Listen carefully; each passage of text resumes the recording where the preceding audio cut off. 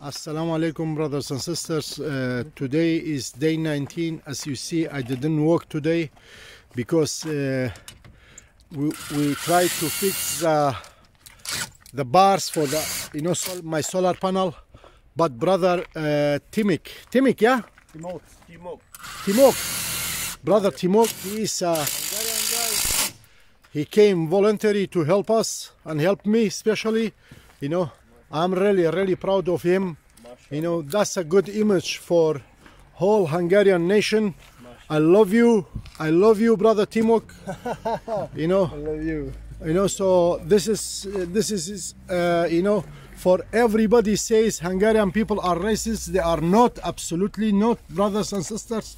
As i many times i have men- mentioned on my journey because my journey you can judge the people how the people they are.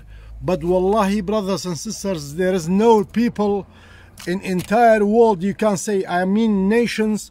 There is no nation in entire world you can say they are racist. You cannot name any nation because we cannot uh, measure for example one nation by 100 people or or 200 people or even 1 million people.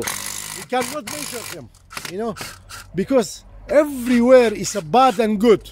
Look look at the brother you know as you see he's hungarian he's not muslim as well but he knew i have a problem you know.